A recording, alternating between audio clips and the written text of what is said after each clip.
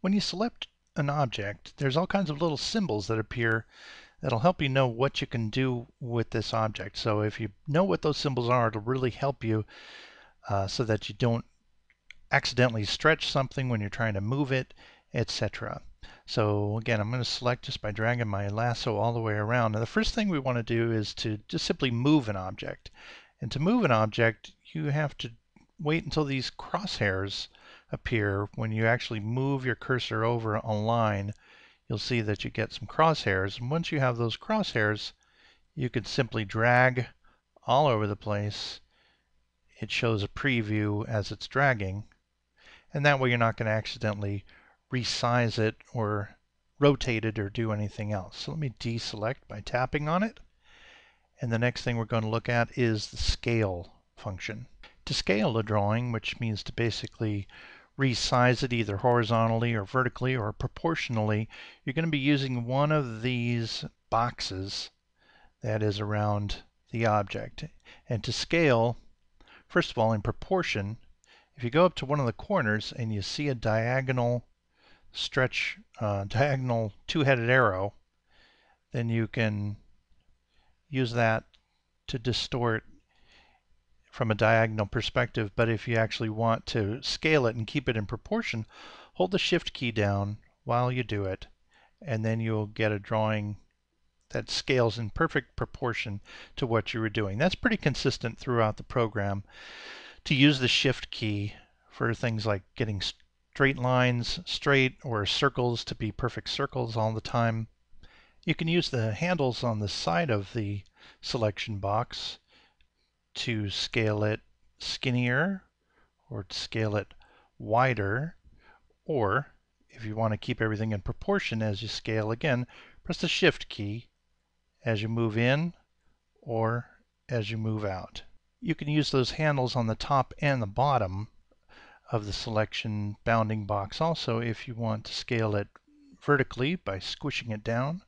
If you want to scale it horizontally, vertically by making it taller, you can stretch it back up. But if you want to move the drawing in perfect proportion, press and shift, press and hold the shift key and then drag downward to make it smaller and drag upward to make it bigger, still retaining all of the scale of the original. We've seen before how you can rotate uh, your selection by going over to the tool properties and choosing to rotate it by 90 degrees clockwise, 90 degrees counterclockwise, and of course you can do that multiple times. But if you want to rotate at a freehand angle, of course any angle that you want, you can also do that by selecting your drawing and then moving your cursor up toward one of the outer corners, whether it's the upper corner or the lower corner. But the best way to find that rotating handle is to go to just the outside of one of the corners. And you'll be able to use this tool by pressing down and dragging to rotate your object at any angle you desire. If you'd like to be really precise when you're rotating your object, you can hold down the shift key and then drag and rotate and your object will rotate in clicks of 15 degrees so that you can know exactly how much it's rotating which can be helpful if you have to rotate a number of different objects. Make sure that they're all rotated exactly the same. I'd also like to demonstrate how we can change the pivot point of that rotation. But to do that, I'm going to first shrink this drawing by again going over to the scalable corner, scalable corner, and I held down the shift key so that it scaled in perfect proportion. And so now when I select the item, I'm going to be able to rotate it, but rather than rotating from the center, as it is right now, I'd like to move the pivot point so that it's rotating from the nose, for example. So watch the difference. Now he's rotating from his nose. Well, how did I do that? I'm going to show you. Now by default, the pivot point is right smack in the middle of whatever selection that you've chosen. And the pivot point is this little white dot that's right in the middle of your bounding box.